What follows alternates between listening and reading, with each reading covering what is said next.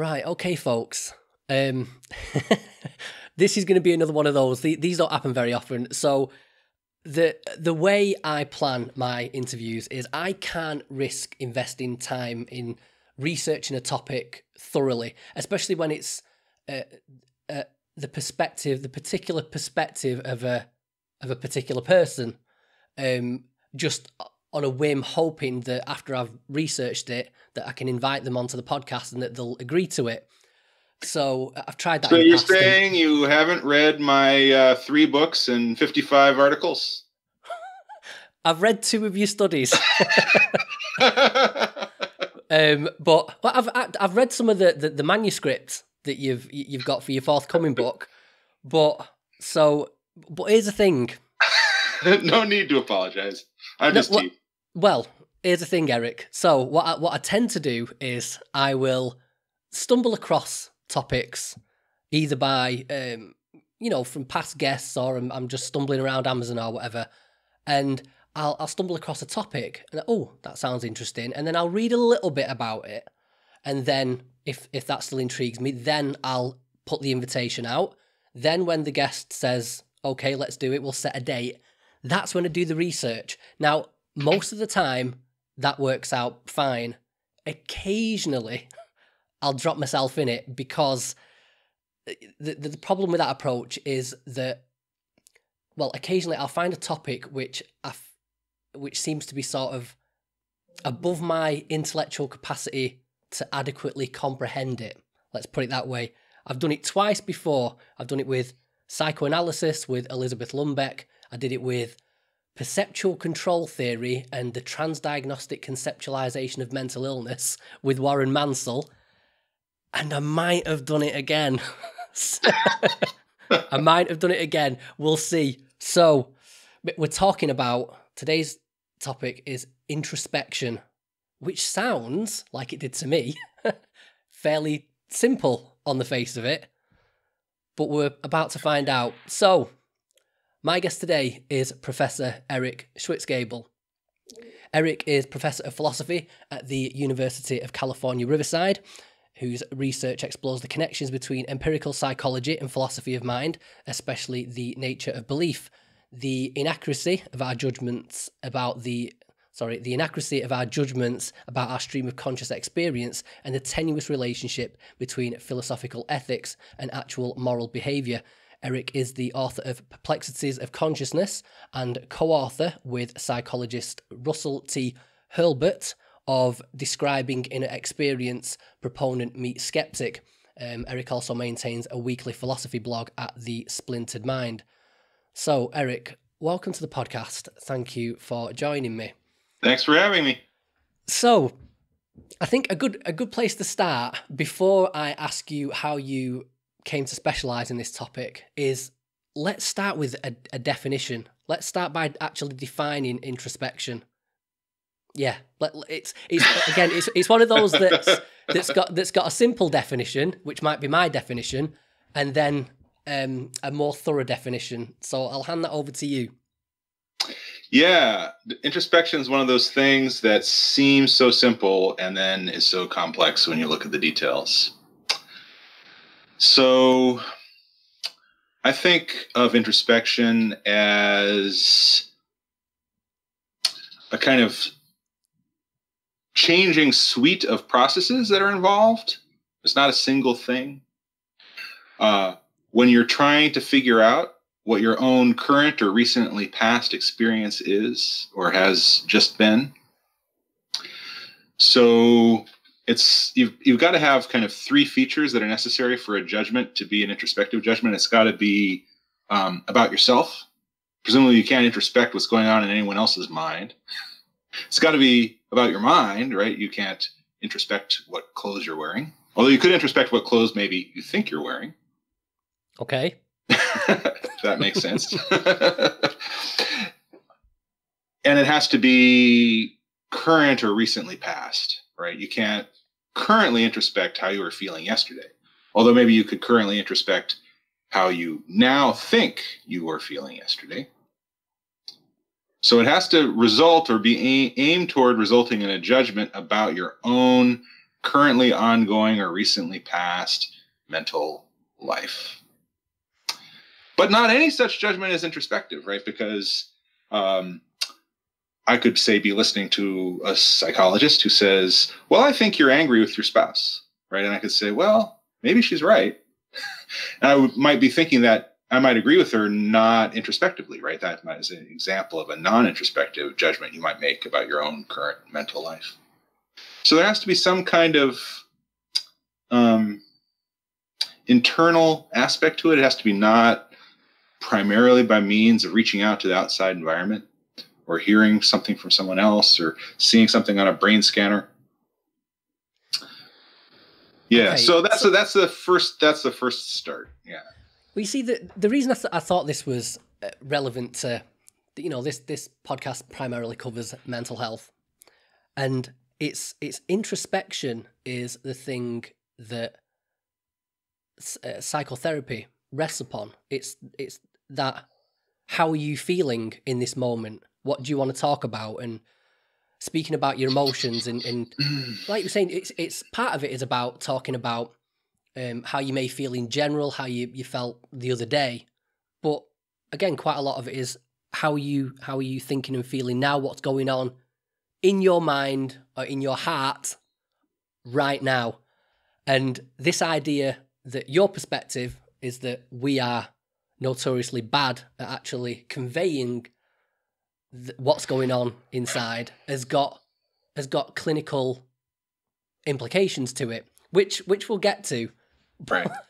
but before we get into it now, just taking a step back, I've got to ask: when you decide to become a philosopher, there's plenty of there's plenty of, of subject matter.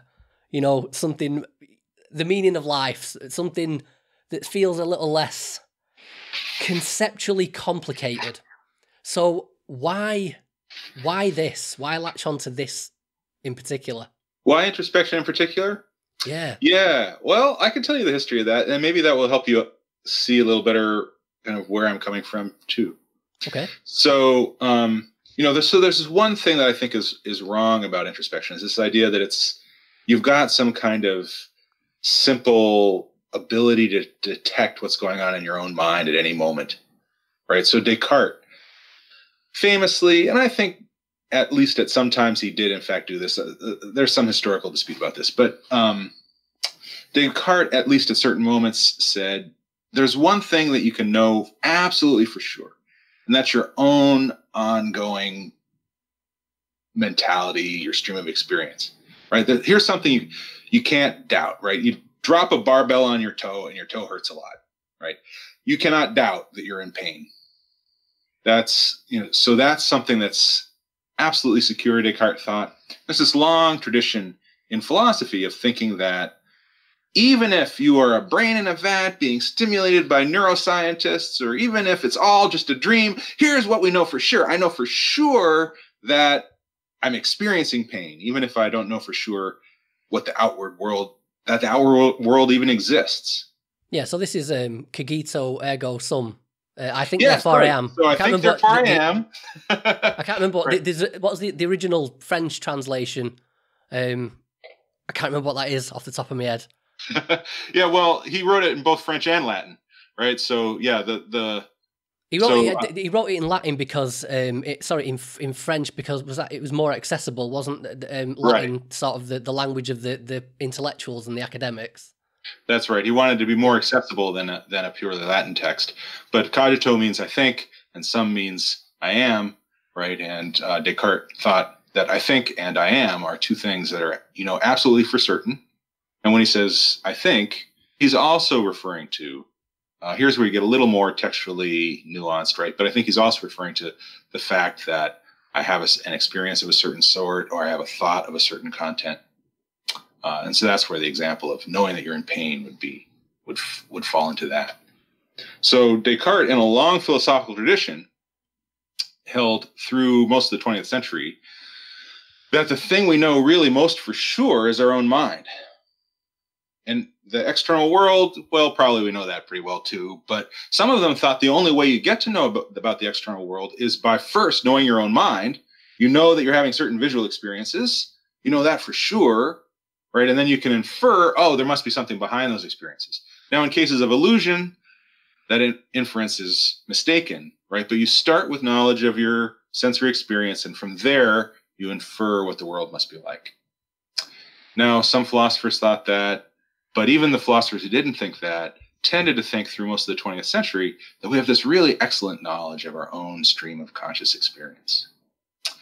So I was in a philosophy department in the 90s in Berkeley, um, you know, kind of being immersed in this. And then I went into this developmental psychology laboratory Alison Gopnik uh, ran at, at Berkeley, and I was very interested in uh, developmental psychology. And, and there were all these experiments going on with Alison Gopnik and uh, John Flavell over at Stanford across the bay, where these little kids were making just what seemed to be just whopping mistakes about their own minds and other people's minds. And it just fits so poorly with the philosophical tradition that I found it really interesting. So let me tell you about one of John Flavell's, if you don't mind. Is this too much of a tangent? No, no, go for it. Okay, so let me tell you about one of John Flavell's wonderful experiments. He's got he's got this. Uh, he and his a couple of his co-authors have this wonderful piece where they're trying and trying and trying to get four, four and five year olds to kind of just get the idea of a stream of experience and the idea that people could have have thoughts about reality. They're kind of separated from the reality, and these kids are struggling to get this very basic, what we might think is a very basic concept. So here's one of his experiments, just one of many, right? So he he he has a uh, library bell, one of those little things you you hit the top and it goes ding, right? Yep. So he, he holds it under the table and he says, "I'm going to ring the library bell." And he waits five seconds, ding, and the kid's like, you know, okay, well, what's going on?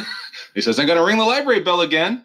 Waits five seconds, ding, and then he says, "I'm going to ring the library bell, bell again," and he waits ten seconds, and then he says are you thinking about anything?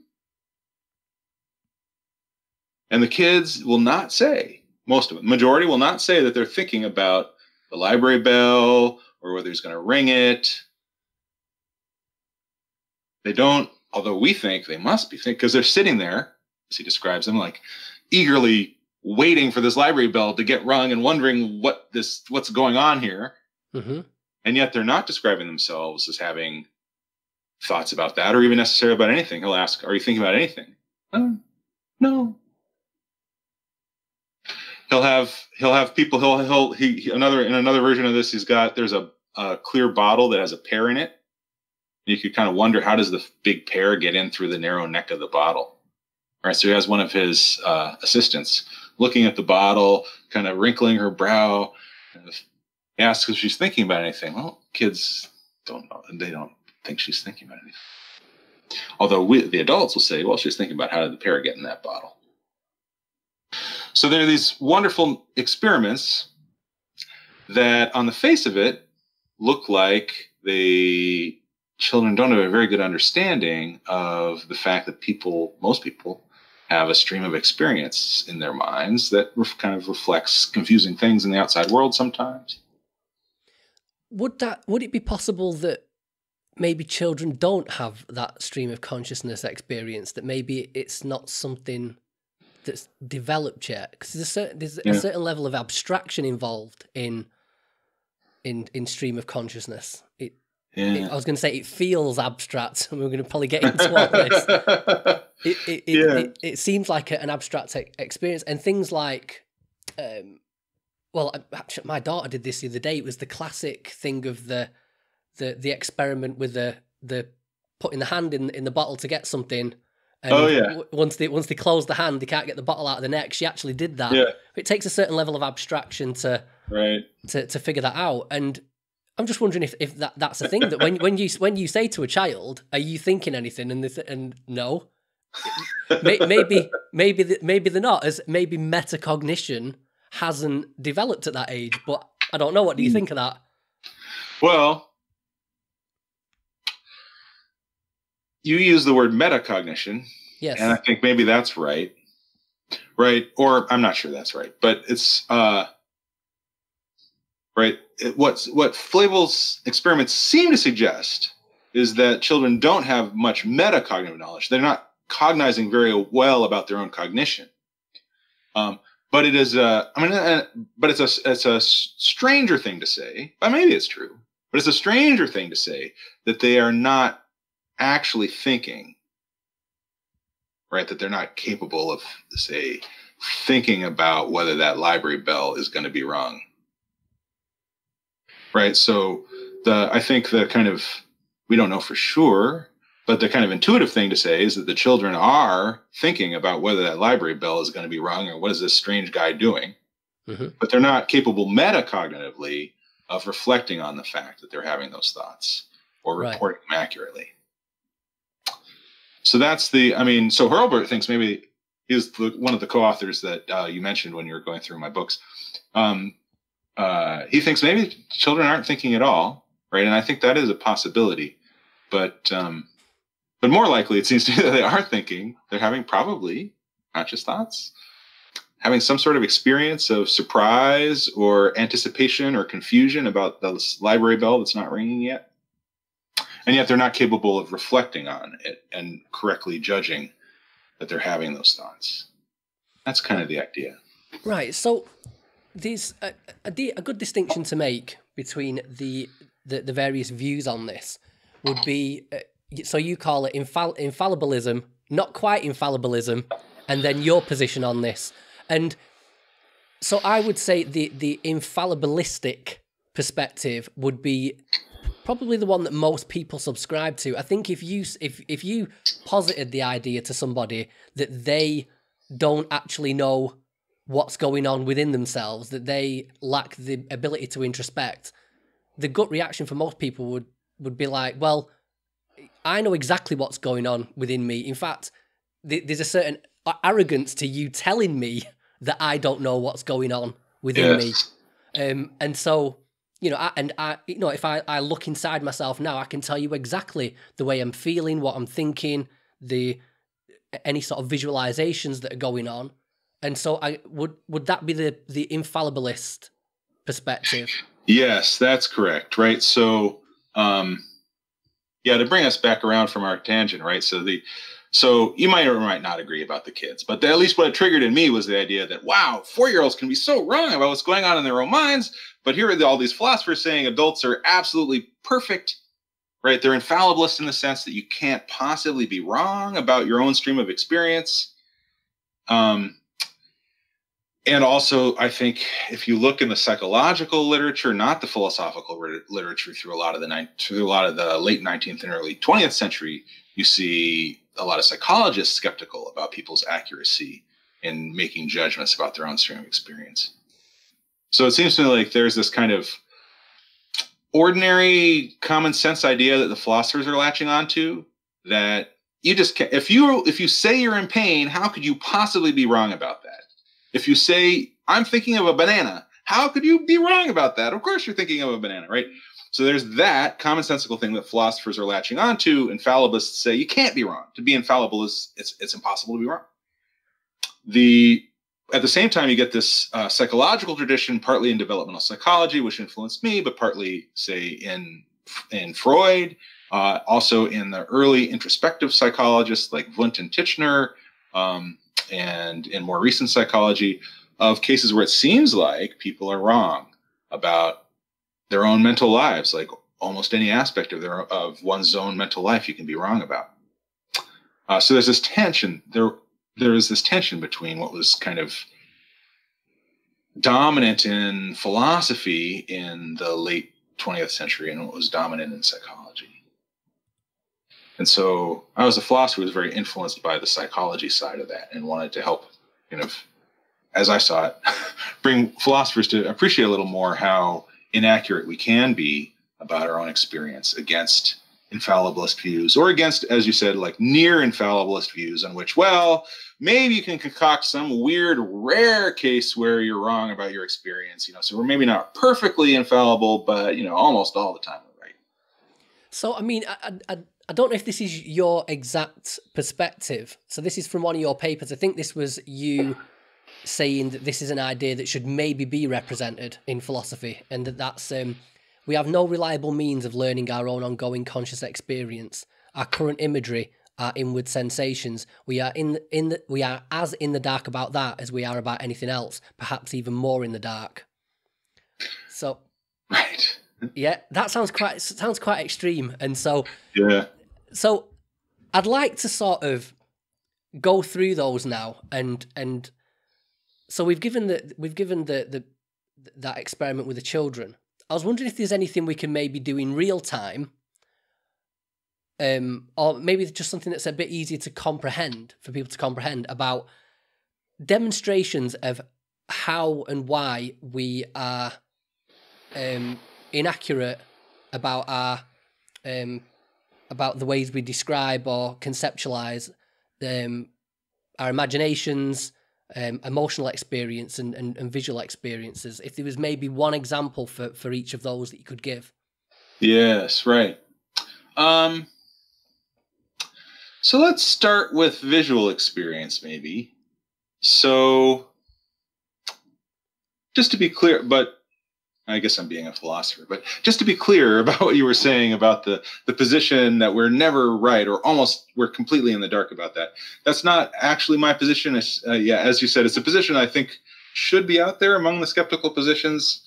I think that we are sometimes right, but much less right than we tend to think we are and that we know the outside world better than we know our own minds, right? So I know better the property, the existence of this cup and its kind of medium sized properties that I know the existence of my current emotions and their properties, right? So if you take two kind of comparable sized things, my current emotion, this cup, um, I know the cup better than the emotion. That's my view. So, um, but it's not like I don't know my emotion at all. So, but let's show, well, so shall we do visual experience first or emotional experience? Now I've changed the topic to emotional experience. Yeah, well, I mean, you know, emotional emotional experience would be more sort of um, opposite for for this podcast, right? And you see, I'm I'm somebody who's aware of the the the fallibilities of of things like self-reporting in uh, in mental health studies and the like. Yeah. And and you know, I'm I believe that to be the, to be the case. I think actually the the the the, the stats and statistics bear that out as well. But at the same time, I would say I feel quite confident in being able to grasp and conceptualize and describe my own emotional inner experience, having spent, you know, spent so many years doing so and specializing in it. Right. I'd I'd argue that I'm pretty good at it. So I'd be interested if you could maybe trip me up on that and, and make me yeah. think otherwise. So let me start with vision and then imagery, and then I think that might help create the case for emotion. Okay. And you can kind of see how my thinking works on this. So take visual experience. Um, most people, when I ask them casually, like, how much of the world can you see in, at once in a kind of with clarity of detail and specificity of color, they'll tend to say, I don't know, 40, 50, 60 degrees. They'll hold their hands out a certain distance. I'm, just, I'm thinking that now, yeah. if you measure it geometrically, it might be, you know, like 90 degrees or 60 degrees or something like that. Right. That's what most people say when you ask them casually. Now, here's a physiological fact, right? The um, the fovea of your eye, which is the only place that's capable of getting detailed shape and color information, is a, is about one to two degrees of visual arc. That's about the size of your thumbnail held at arm's length, right? So if you hold out your thumb and look at your thumbnail, that's about how much comes into your fovea that you can actually get with clarity at any moment. Wow, okay. Now your eyes are foveating about five times per second, right? So they're moving. But so you're getting about thumbnail sized pieces of information about five times per second. And somehow we kind of construct this all into a, perception of the environment. Now, what I'd like you and your listeners to do is to foveate, that is, hold your eyes steady on some one particular point. I'm looking right now at the power button on my monitor. Hold your eyes steady there and then turn your attention without moving your eyes. Just say a little bit to the right or left of that and notice whether it seems clear or not.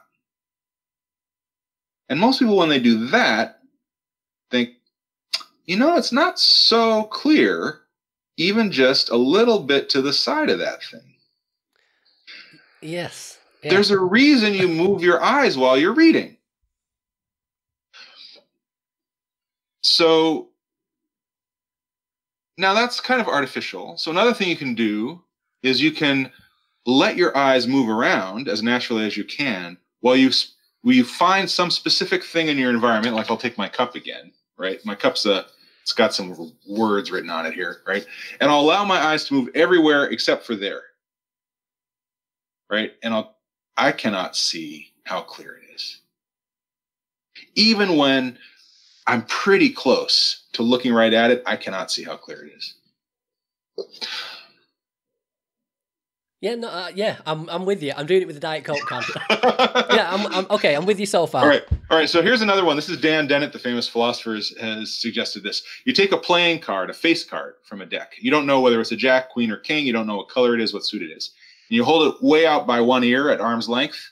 You hold your eyes fixed in front of you, and you rotate that card toward the center. And you see how close you have to bring it to the center before you can tell before you can tell what color it is, what suit it is, what value it is oh, hang on a minute, I might have to try and actually do this. I think I wanna, if you've got a card, do it like right now. Yeah, yeah. Hang on. Okay.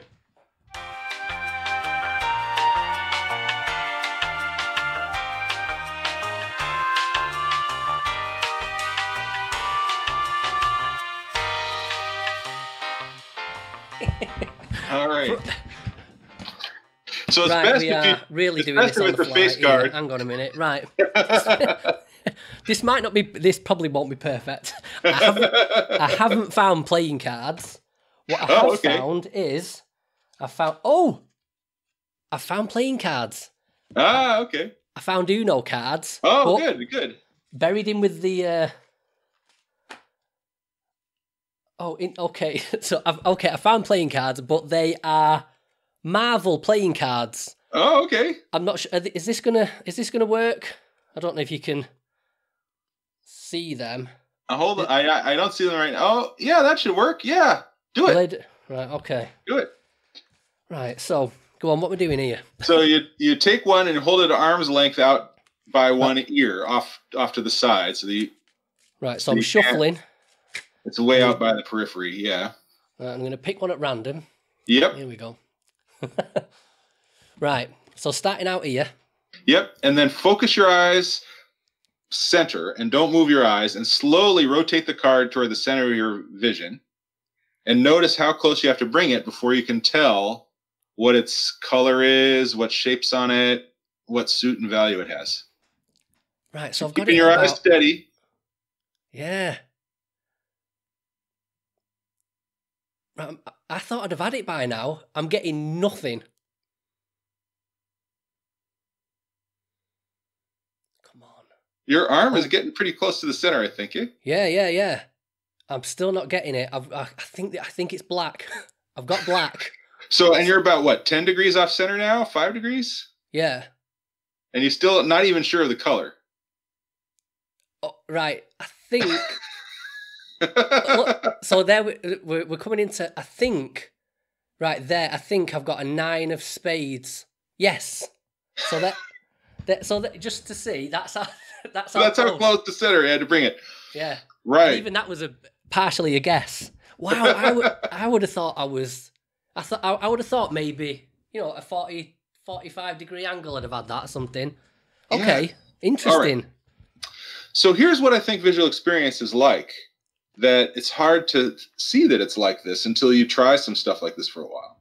I think what you've got is you have a narrow spot of clarity that bounces rapidly around this kind of hazy background. But you rarely notice because wherever you're thinking to look, you turn your eyes that direction, right? So you're like, Hmm. oh, is this clear? And then you look there. Yep, that's clear. And then is this clear? And then you look over there and, oh, yeah, that's clear. And then you kind of falsely infer that they're all clear at once.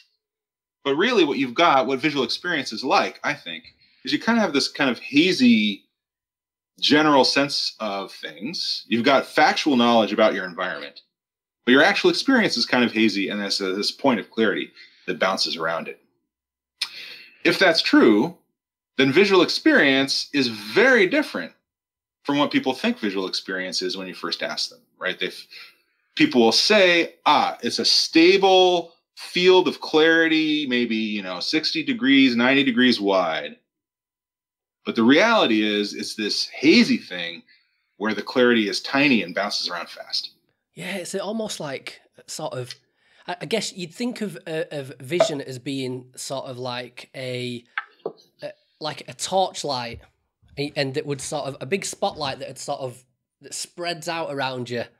Yeah. And but it's it's it from doing that. That's more like you having a machine gun and sort of just bullet tiny little bullet holes in things and and and, and inferring the rest of of what's going on from the the small details that are being presented yeah. to you.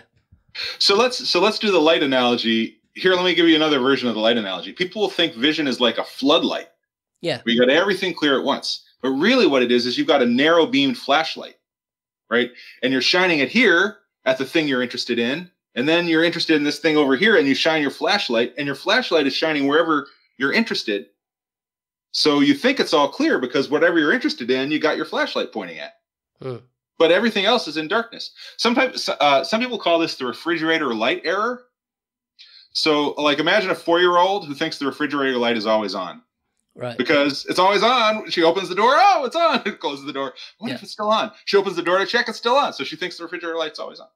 Right. So likewise, you might think that everything around you is visually clear because wherever you to check, wherever you think to check for clarity, you look right there, and then it's clear at that moment. But that doesn't mean it was a clear a second before, or that it will be clear in another second.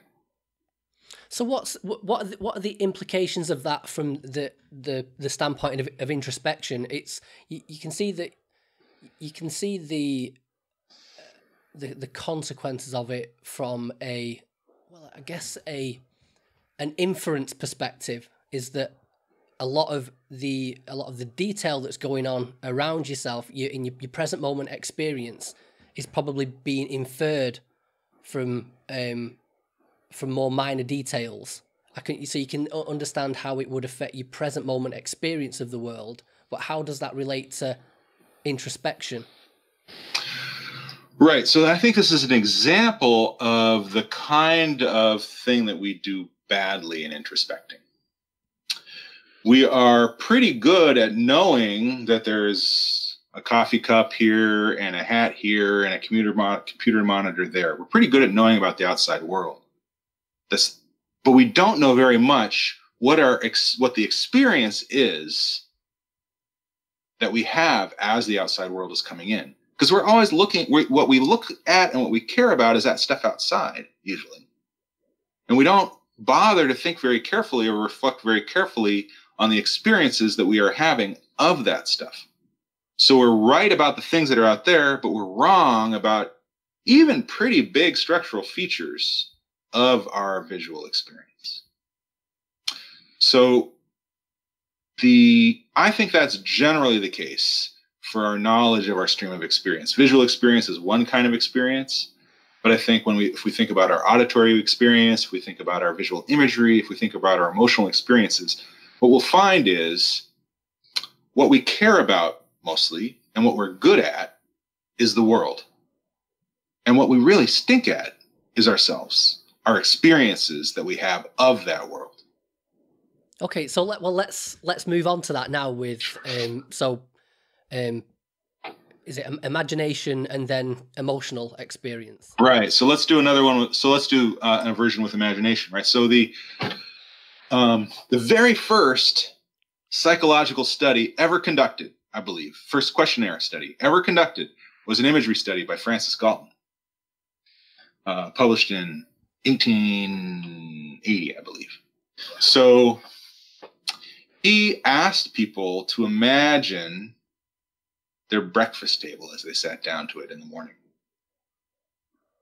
And then he asked them very question, various questions about it, like, all right, now that you've got this image, since people don't have breakfast anymore so much, I changed the example a little bit for my own purposes. So I say, imagine your house or apartment as viewed from the street. So we take something like that. Sorry, I think my computer fan just turned on. I don't know. Is that too noisy for? The... It, it was a moment ago, but I think we're okay now. it's calmed down a bit. It's calmed down just a little bit. Yeah. All right. So imagine your house as viewed from the street. How much detail does that image have? Is it all kind of pretty detailed at once? I'm assuming you can form an image. Some people say they can't. Or do you kind of have to think to fill in the details one at a time? So I Is it? say- Let me ask before before you answer that. I'm going to ask you a few more questions because part of the challenge here is that different people find different questions challenging. So I'm going to ask a few, and then the the what I anticipate is that you'll find some of these questions hard to answer. right? Right. Do you have to fill in the details kind of one by one as you're thinking about it? Are they all kind of there at once? Is Yeah. the image all clear? I mean, all well colored? Or is the or is it kind of indeterminate in color in some places? If it is indeterminate, how is that indeterminacy experienced? Is it like gray or something? Is the image flat, like a picture would be flat, or is it somehow three dimensional? Is it how much is it like a visual experience as opposed to say a dream experience? So for me, the one thing I'm noticing as I'm trying to picture the house now is that it's it is it is vivid. It's vivid. It's three dimensional. It's it's it the colors, the details are there, but I'm almost do sort of like what we were talking about then. It's almost um I have to concentrate on component parts of it Mm, it's not complete in any one moment. And even when I try to make it complete, like I say, there's color there. It's three dimensional. It's very. It feels like a like a very a good visualization, but it's never complete. It's sort of always moving for me. yeah, right. Yeah, so that's one kind of thing that people report. People report very different things when you ask them this this kind of question. And here are the kind of two things that I think about that, right? So, one that I just want to notice is that most people find it like not totally easy to answer these questions. That you could imagine people getting wrong about it. Like if I if so here's my hat. I wear hats all the time, right? So if, if someone say like, is this hat all well colored? Is it stable? Right? Is it moving? These are easy questions. I don't have to like work hard to figure out the answers to that. But with my own imagery, the same question most people experience those same types of questions about its general features and structures and clarity and detail. It's kind of hard to answer. Stability.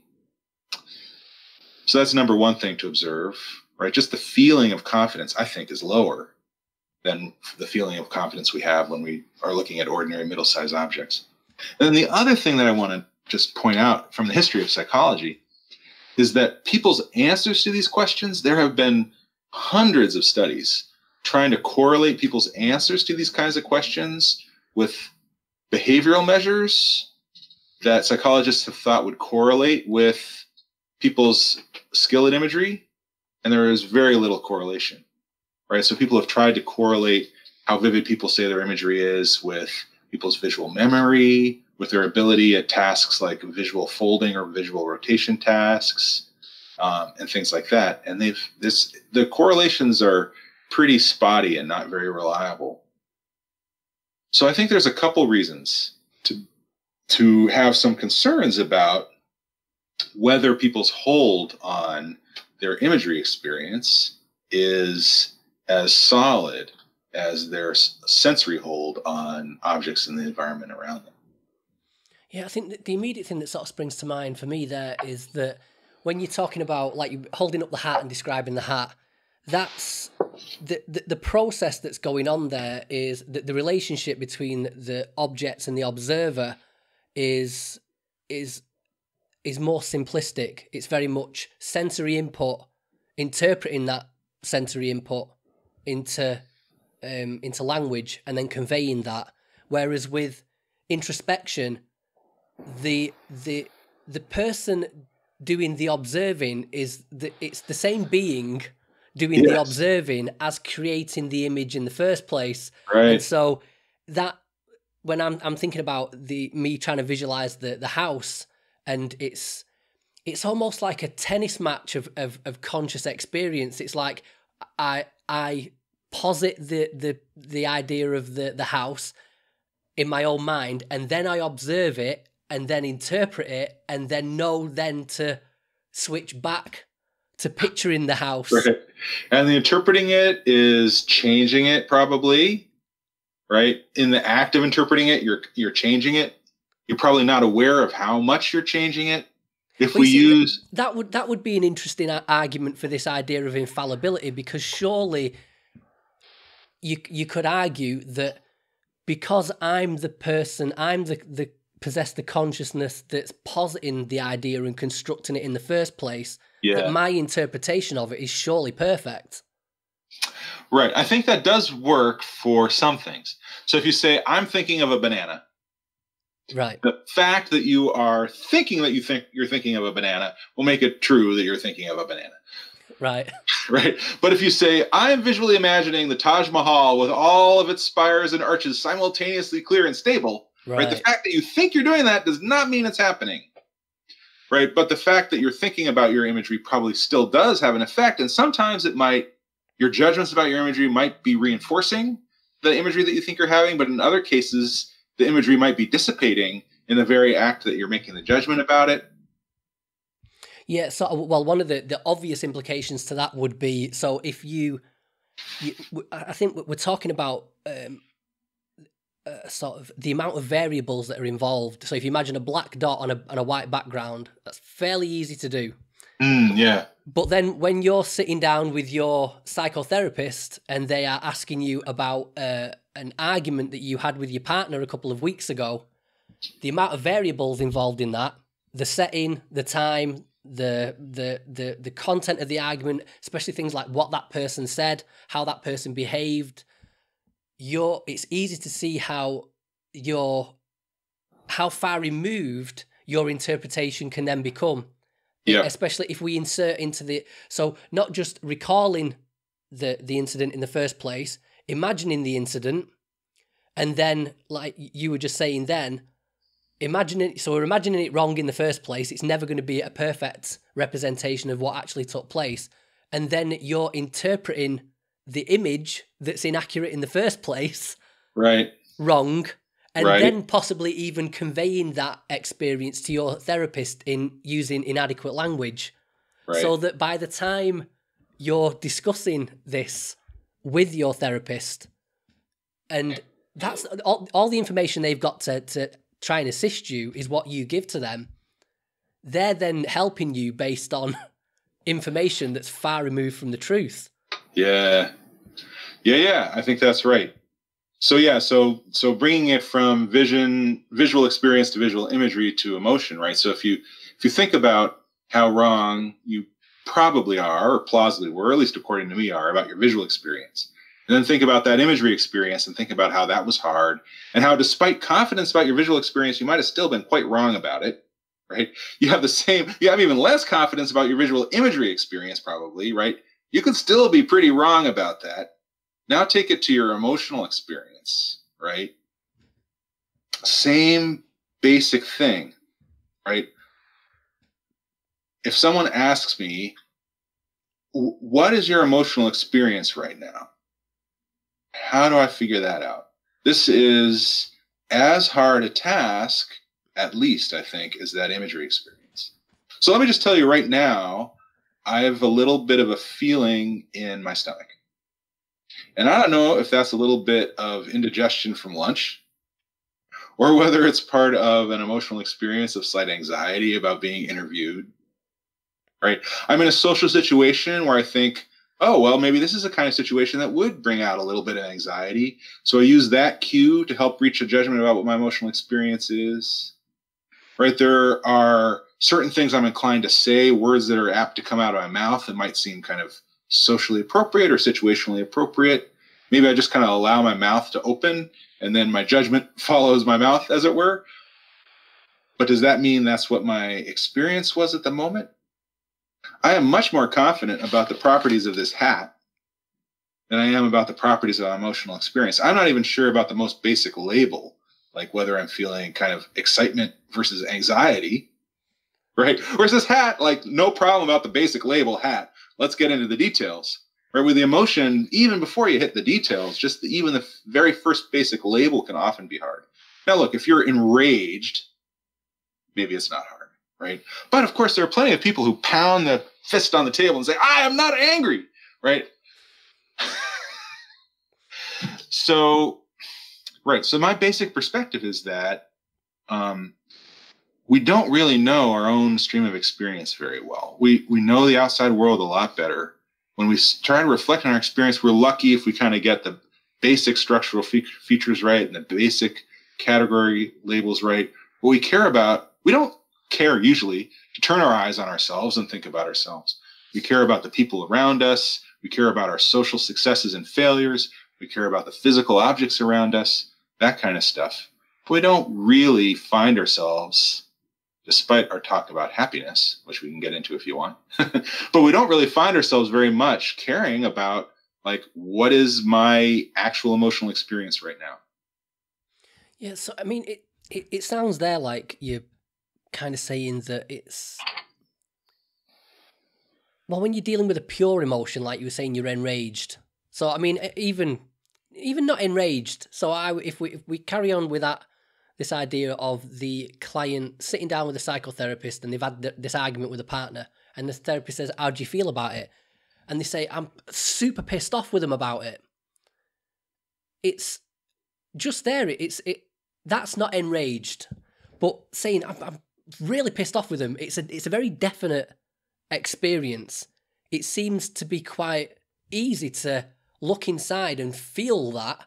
That's I feel pissed off. I mean, I'm pointing here. That's probably there's probably something going on with there that, with that doing that. But right, it seems a very very simple emotion to grasp. I'm pissed off with the situation, and and the the language is very simple, but it does it perfect justice. So what's wrong with that? Because that again, that would seem to me like perfect representation of what's going on internally, and and expressed in perfectly adequate language. There doesn't seem any disconnect there. Right. So I think um, probably more often you're right than you're wrong when you say things like that, right? So I'm not a total 100% skeptic. Um, Is it about the, yeah. the, the purity of the emotion? Because uh, on the opposite side of it, where you've got a very, de- you know, rage. I don't know, like rage seems to be a very definite rage and anger, and th- there's, yeah. there's, something very definite about that. But then people right. will say that they feel conflicted about a, a, a situation or they feel confused right. about it, which there's there's less confusion. It, there's less intensity to confusion. There's less in, intensity to feeling conflicted. Whereas, right. You know, the same with like being in love. That you know, yeah. you're totally just besotted. It's it's a very pure emotion. Yeah. And so is is is that what the problem is that introspection gets more difficult to do the less pure or the, the more ambiguous the emotional experience is? Well, let's take the pissed off case because I want to pull apart three different things, right? I actually think all three things are a little hard, but in different ways. So let's say that you're pissed off at your partner for something she did last week, right? You say that. Here are three things, right? One is, is the emotion that you're currently feeling being pissed off. Another is you're pissed off that she blah blah blah, right? Did you get the that she blah blah blah part right? And the, and the the final part is what is your experience of pissed offness kind of like experientially like? Right? Because you could say completely calmly with no emotional experience at all, I'm pissed off that she blah blah blah, right? As it can it can be a general state of piss offness with your partner, right? That she always does this, and she's always like, right now I'm perfectly happy, but I can say, right, right, just like you say, you know, oh someday I want to go to Hawaii, right? It doesn't mean you're constantly full of this impulse to go to Hawaii, right? So, right, so there are three things, right? There's that immediate emotional experience that may or may not be present in the moment. There's whether pissed off is the kind of correct category label. And then there's the the content. I'm pissed off that such and such, right? I think you can probably go pretty wrong about any of those three elements. Right? You can be hurt maybe instead of being pissed off. Are you sure that pissed off is the right label? You could think you're pissed off that she was late, but you're really pissed off that she was dishonest and prioritized doing certain thing first and, and was late as a result. And you could certainly be wrong about your your current well, certainly. On my view, you can be wrong about the what it's what it feels like physiologically for you, whether it's a stomach ache due to stress or something else like that, or what are the structural features of the experience as it's ro- rolling through you. That's the kind of that latter kind of stuff is is the kind of stuff I was thinking about. Um, that's most analogous to the visual experience and the imagery experience, the kind of like felt flow of the emotion. Right. So you got the label, you've got the content that attaches that label, and you've got the felt flow and even I think once you pull those three things apart, you can kind of see how it's not always so. You're not necessarily right about any of those. Yeah, um, well, so I mean, the, the the things that sort of sprang out to me there are wondering whether this is, um, well, so I was thinking that one issue would be this idea of people not being very in touch with their emotions. So whether the ability to connect with your emotions in in an accurately representative way is a, a, a skill to an extent just something that some people can do better than others um but that that being the case still doesn't undermine in fact it probably just bolsters the idea that you can be bad at introspection but another part of it, it i wonder whether it's is it just a is it is this a linguistic problem is it that emotion that we even even if we're bad at sort of conveying it, explaining it, locating it, we still feel it.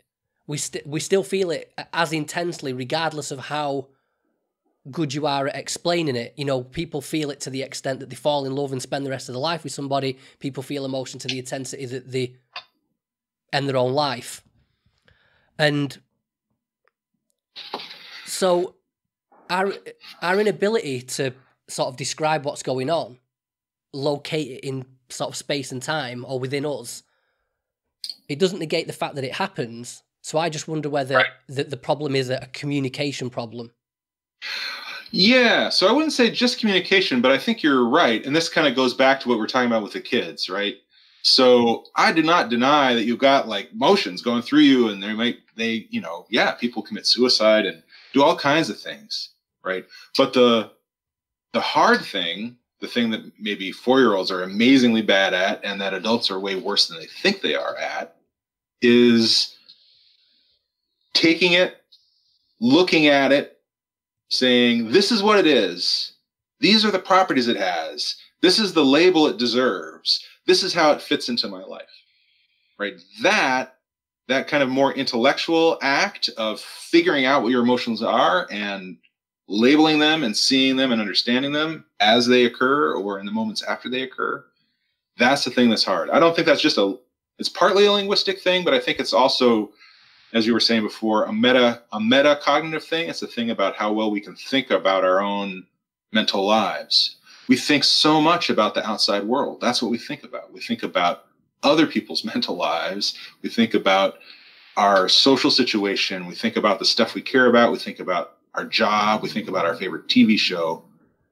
We don't think, how happy did that make me feel? How sad did that make me feel? What am I feeling right now in response? I mean, maybe if you sit in the therapy room and the therapist puts you on the spot, then you think about it.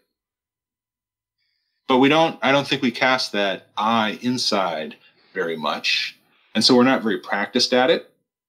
And furthermore as you were talking about before the very act of thinking about it starts to mess it up right? So it's mm-hmm. something that's hard to hold on to. It's not like a thing like a hat that you can kind of like hold and examine in a systematic way right? So it's something that's difficult to understand and that we very spend very little time practicing understanding.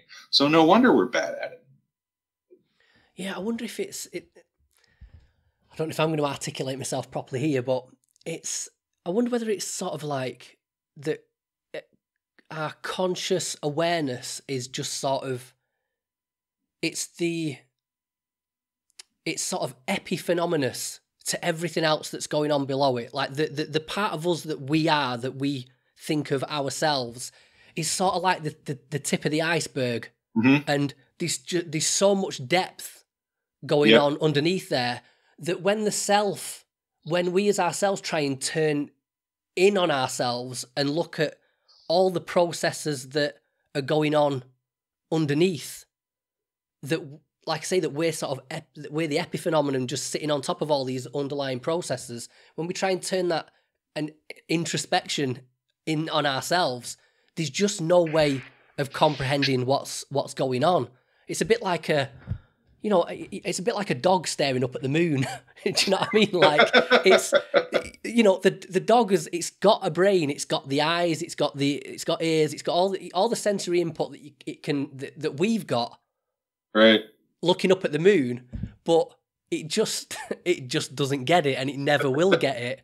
And I wonder whether it's whether it's whether it's that that's that's going on with us is that it's just it's something that's not doable. And the and the other uh, component of it might be that the part of us sort of um, physiologically that's doing this is is the neocortex, the, the the the outer part of the brain, and all the, the those emotions and those inner experiences, uh, I believe, are a part of the, you know, the more prim- primitive parts of the brain, and whether that's sort of representative of that depth that's going on is that we're just this little sliver of shit on the top of everything else that just that's just got Yeah. no way of comprehending itself that way. So there's this psychologist, Jonathan Haidt, who's pretty well known. So I don't know if you've heard of him, but Yeah, he's got this he's he's got this wonderful analogy of the rider on the elephant. So kind of the conscious mind is the rider, and it's on an elephant, and the elephant basically just does what it wants to do, and the rider's like. Uh, here's what I'm doing. Here's what's going on, right? Oh, elephant, go over that way, and then the elephant goes some different way. And it's like I really wanted to go that way the whole time, right? So, Your exactly. conscious mind yeah. is this hopeless little rider on top of this giant elephant, right?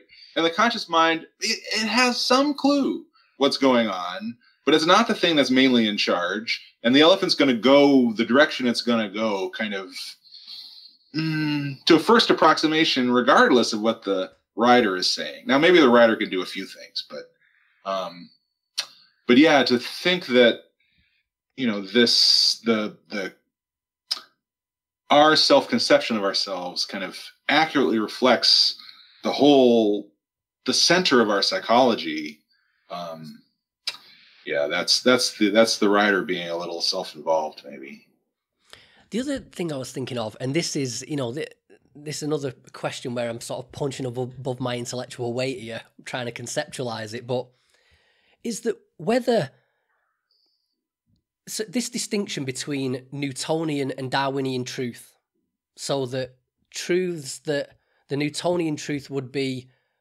accurately interpreting the the, the, the material world as it is, and then Darwinian truth would be a truth that serves the survival of the species, even if it's not true out there in the world. Mhm.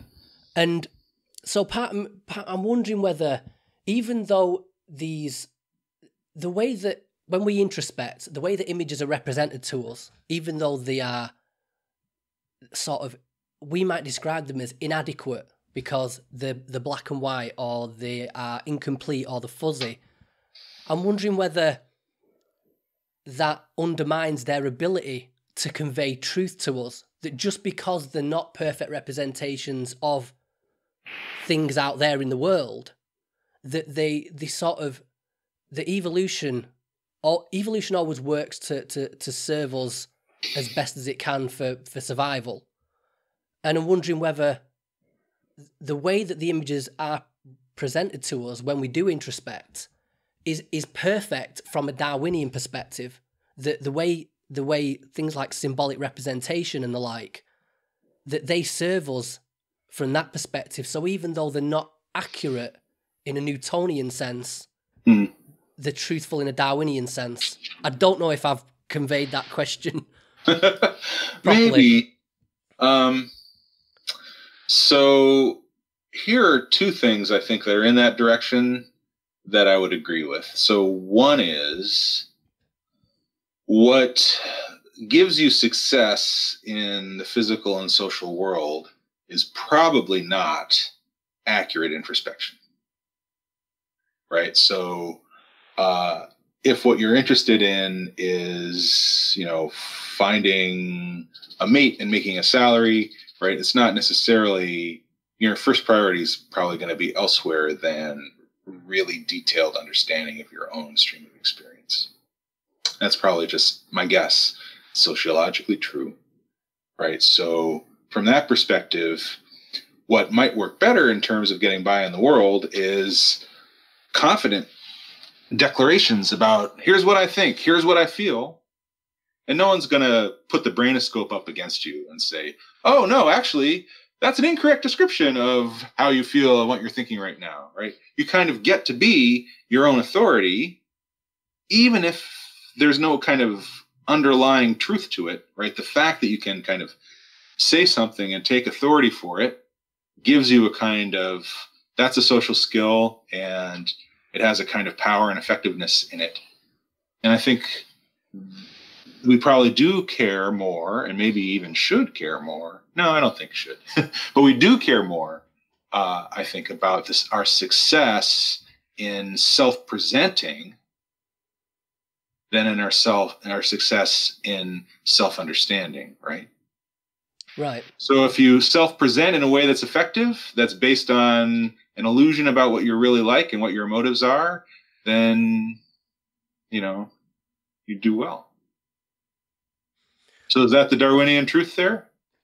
Yeah, I guess I guess it would be. I was trying I was trying to come up with an example of how the an inaccurate representation when when when you introspect an inaccurate representation of of the the way you feel from a Newtonian perspective, an in, inaccurate representation of, of a thing that happened would serve you from a Darwinian perspective and therefore become truthful from from the Darwinian perspective, but like like I do sometimes working on the fly, I've got the question, but I couldn't, I, I couldn't couldn't quite come up with an example to to back it up.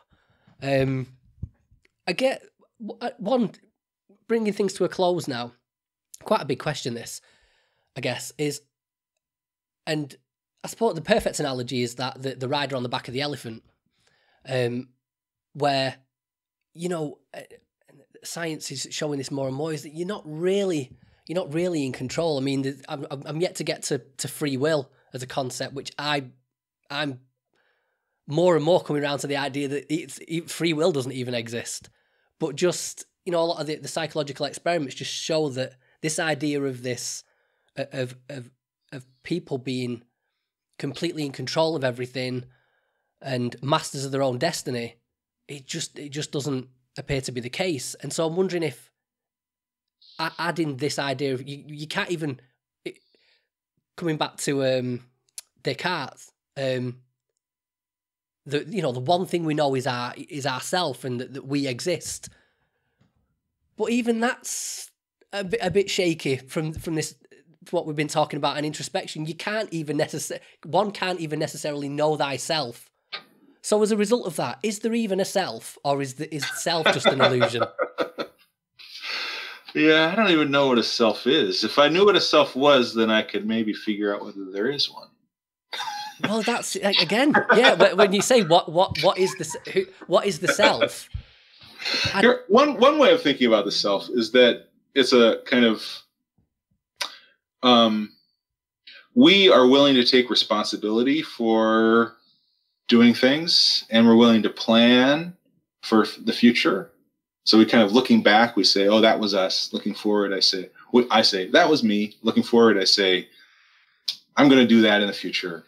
Other people do the same, and so we kind of there's something about our the way that we think about ourselves and our social interactions with other people that make it the case that there's this entity, Eric Schwitzgebel in my case, that we can kind of talk about and think about the past and the future of, right? In that sense, there's a self, but it's a self partly because we construct it that way as selves, as individuals, and as um, people interacting with the with themselves or individuals around them. Now that's a very different kind of and a more kind of limited type of self than some really you know, like metaphysical hard nut. Mm. You hmm. know. But in that, if if we downgrade our idea of what a self is to something closer to that, you know, with maybe memory continuity and things like that, also, then then we've got a self in that sense at least. Maybe that's enough. Yeah, I don't. I think pop, popped our head down a, a very deep rabbit hole there. Just, it's this. This is a good question to, to finish on before we before we jump into the quickfire questions. Would be is is it possible to get better to to get better at introspection purposefully, like consciously, purposefully make an effort to get better at introspection? If if it is, what's to be gained from that, and then how do we do it? So, three part question. Right. So, it might be possible to get better. Um, I think the empirical case is still out. There are two major movements, and I'm not including, um, and a third might be kind of um, depth psychology stuff, but uh, there's introspective psychology as it developed in the uh, late 19th, early 20th century. And then there's uh, meditative practice. And in both of these cases, there have been claims by practitioners that you can train yourself, say to become an expert, expert introspector or to become an expert mindfulness meditator, right? So you can notice what's going on, say emotionally or in your sensory experience, uh, in a way that's better. Uh, and there's some plausibility to both of those claims but the empirical follow through on that has been mixed.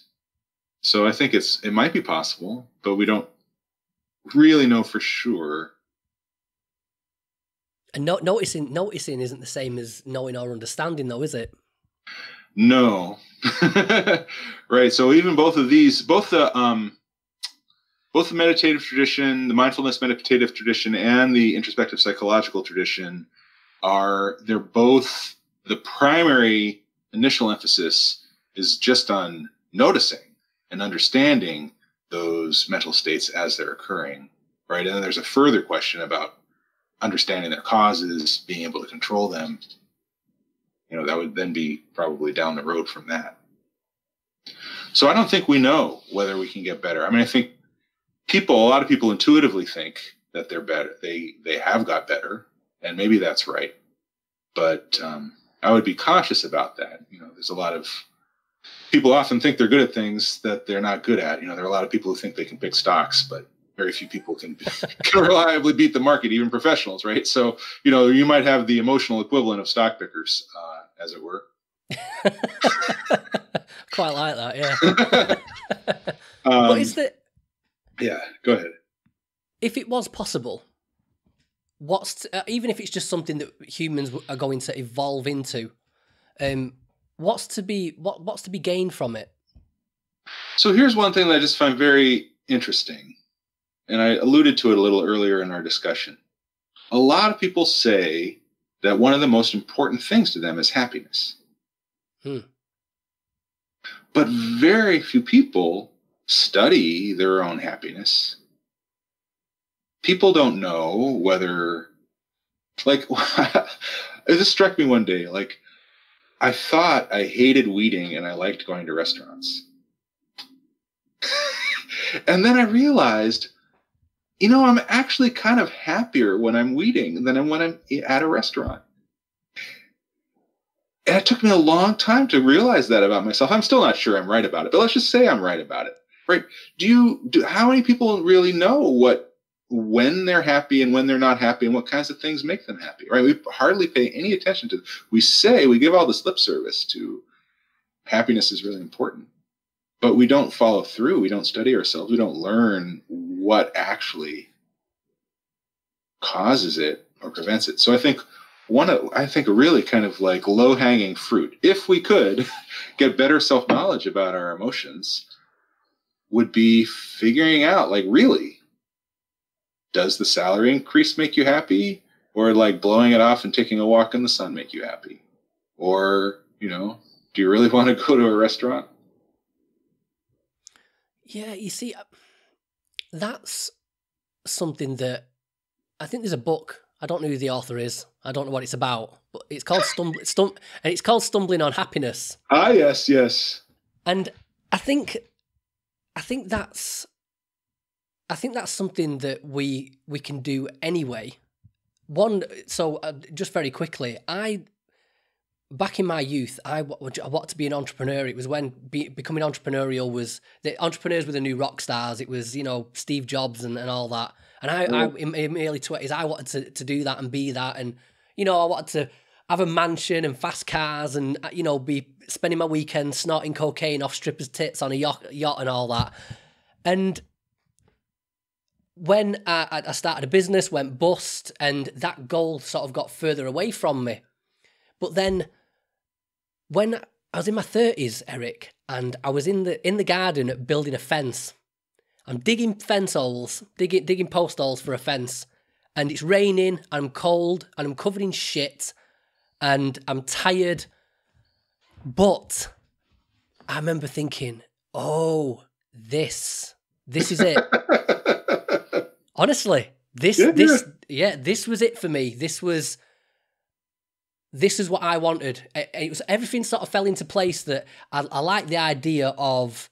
Um, I've got a bit of a. I call myself an aspiring American. My dream is to one day move to America, somewhere in the South, and get a farm and maybe build, you know, build your own home and and fence fence off your land and, and be the king of your castle. And that tiny little insight into it, um, it it was it was it clicked, you know, like a light bulb moment, and but I, you, there's no way of there's no way of manufacturing that, and it was almost like complete coincidence. But that was, I don't know whether that's classed as a very sort of introspective moment where you're very much in touch with what's going on because it was it was it was so primal.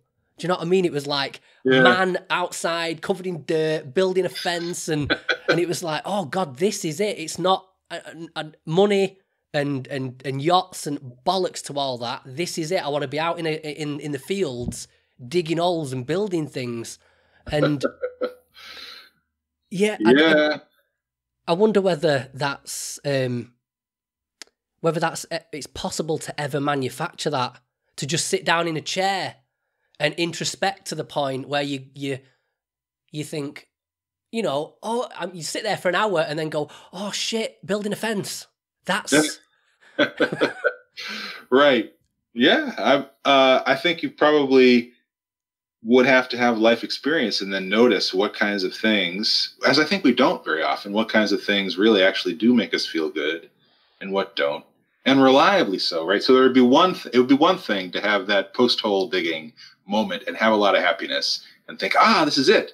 And then the next day you do it, do you have the same experience or a similar enough experience or or was it really something other? Was it the novelty of digging? And if you were digging for months, it was suddenly not, or or not so suddenly, it would be not so good. What's the actual? What was actually giving you that pleasure at that moment? Uh, was it the primalness? Was it the difference from everything else? Was it some other mysterious thing.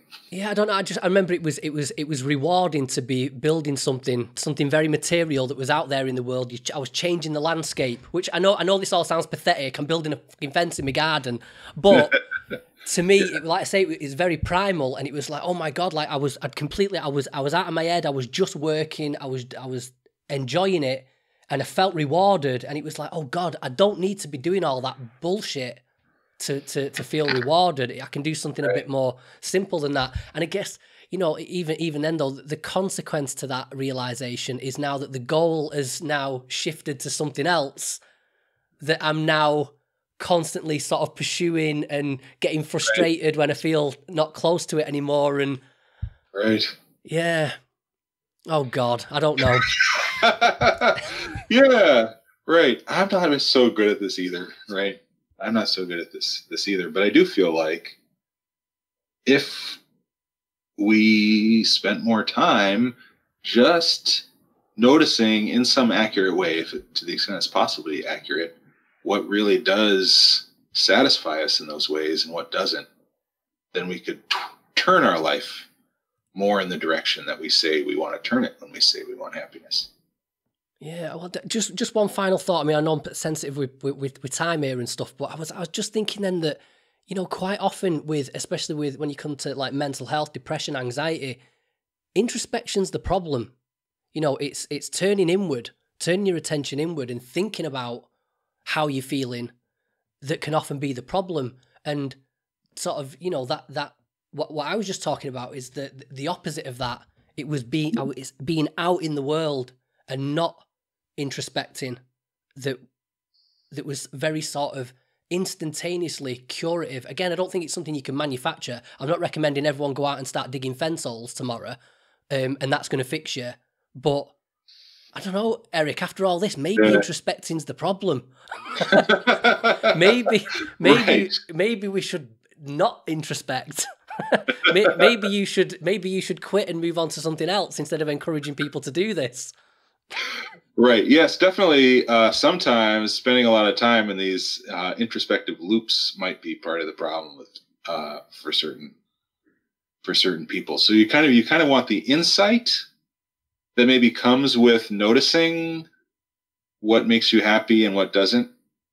But if you're spending all of your time thinking about the fact that you're so unhappy and kind of coming up with reasons and excuses for why it's the case and then that's probably not a good thing either. Right. Well, even though I've just recommended that introspecting is um, potentially a bad thing, I'm I'm going to ask you to do it for another, another another few minutes. Um, yeah. But before we jump into that, Eric, if you would just like to take a moment to um, recommend any links you've got, books, anything you'd like to tell the, the viewers, the listeners about, um, feel free to plug away. Sure. So uh, I have a book forthcoming um, from MIT Press called A Theory of Jerks and Other Philosophical Misadventures. Yes. So, so uh, let me just jump in and say, so this this is what I stumbled across. Uh, this is how I stumbled across you and your work, and um, the the one of the manuscripts online. And you, I think a lot of it is uh, articles from your blog. That's and right. for anyone that's like, maybe this is this introspection's a bit deep you talk about a lot of different things and a very you're a very engaging writer um, very accessible and also a lot of your articles are nice and nice and short like big ideas but v- quickly and easily digestible. So um, when that book's available i highly recommend it. So when's that going to be out and um, where can people get it? So it should be out so yeah i don't know when you're going to broadcast this but it should be out this summer or fall. So maybe it's a little, maybe I'm advertising a little bit too early, but, um, and then there's also my, my blog, The Splintered Mind. Uh, so I, as you mentioned at the beginning, I post there uh, weekly, typically. Uh, so those would be good things to look at. I, I guess uh, I have also two books on introspection. They're a little bit older, but um, I've got one This is a dialogue with a psychologist where we give a person a beeper. The beep goes off at random moments during the day, and then we interview her at length about what was her experience that last moment right before the beep. So we had so I and the and the psychologist are interviewing a, a woman in detail about 17 seconds of randomly sampled experience. We have a whole book on this, so you get this kind of weirdly, strangely detailed look into just random samples of a person's stream of experience. So some of your readers might find that interesting. So, so those are a couple suggestions.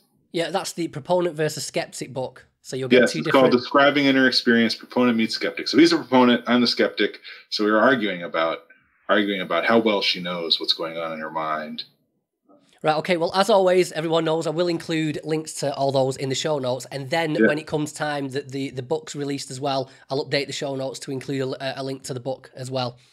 So, okay, let's jump into these quickfire questions. So, as always, folks, you get the first one for free, but then after that, you're gonna have to help me pay these ever increasing hosting bills uh, by signing up on Patreon. It's, it starts at $2 a month. There's AMAs um, and these quickfire questions, a few blog posts, and I'm producing extra content all the time. So just go to patreon.com forward slash M-O-W-E, my own worst enemy, patreon.com uh, forward slash M-O-W-E. Um, okay, Eric, let's start with the the last book you read and then the best book you've ever read. The last book I read was a history of early China. Um, Okay. I've forgotten now, forgotten now what the author was, but I'm interested in classical Chinese philosophy. Uh, so I've read a lot of the philosophy. I was trying to, I've been trying to bone up a little bit more on the history. Okay. And the best book you've ever read. I'd say my favorite book ever is uh, Borges's Labyrinths. You know Okay. Jorge- I've Jorge never, Luis never Borges? heard that. No. Oh wow, he's this amazing Argentinian writer. Um, very surreal, philosophical short fiction. Right. Okay. What's that called? Uh, the collection is called Labyrinths, Yep. and it's uh, it's got some really amazing, mind blowing stories in there. Right. Okay. Like, like I say, I'll I'll, I'll include the links in the in the show notes. It'll be one. It could be one of those. Like I said at the beginning, Eric. I'll I'll go away, check it out. It'll be brilliant, and then I'll have to go find myself a. Um, is he still alive or? No, no, no. Oh well, maybe one of his A lot of these proteges or something. yeah, yeah, this is more. mo- mo- A lot of the stories are from the 40s. Okay. What negative experience has had the most positive effect on your life? Um, my wife and I had a lot of trouble getting pregnant f- with our second child. We were never able to do that, and so we ended up adopting uh, our daughter Wow. Kate, and uh, she is so amazing uh, that I can't imagine a biological child having been a better outcome than her. Yeah, we, we're thinking about doing that ourselves. So we, me, me and the missus are getting a bit long in the tooth. Well, from from a uh, reproductive perspective, you know, I'm I'm 37 next. She's just turned 30, and Yeah. um, so we, we want four, but we think we're only going to be able to manage three naturally, and then maybe the fourth one we're thinking of adopting. So, okay, I'll tell uh, you, there's something that's just totally shocking and amazing to me about adopting. I had, you know, had some concern about Of course, well, our first child was biological, so you know the baby's born, and of course, you have you had your first already? we've had, we've had two. You've had two, so the baby's born, and most people, not everybody, but most people, it's like you're instantly attached, right? There's no like need to, to like worry. Yeah, no, oh, it's- do I it's like this kid or not? I don't know. it's like wow, like instant boom. Yes, The amazing thing is, I thought that might not happen with adoption, but for whatever reason, however it gets set up, all the expectations get built up around it. We got our daughter, and it was as instant and as natural, as irreversible as when our biological child was born. Yeah, so that's the. Um, so I think everybody knows this. I've mentioned it before. So I was adopted at birth, and my mum said exactly the same thing. So they were they were both in their late thirties, um, trying to adopt, and they'd been told like it's probably not going to happen now. You you know you're getting a bit old for it, and then. Um, Cheeky bastards! I don't know why they thought I was um, decent fodder to be handing off to this old couple, but um, Yes, that's they, they said you know they rang my mum up and said we've you know we've got a little boy here. And she said as soon as she saw me it was like it that's it. That's my son so um That's yeah kind of amazing to think about. How does that happen? It's not like if a baby goes by in a carriage on the street, I'm not like, ah, that's my Right. son. You know? I mean, maybe there's some people like that, but hopefully not many. yeah yeah yeah. So what? Something about the something about how that's set up. Something about the expectations around it. You're just ready, and then it just happens. I don't know. Anyway, yeah, no, I- yeah I, look, I look forward to it doing it myself um okay what mistakes do you continue to make despite knowing better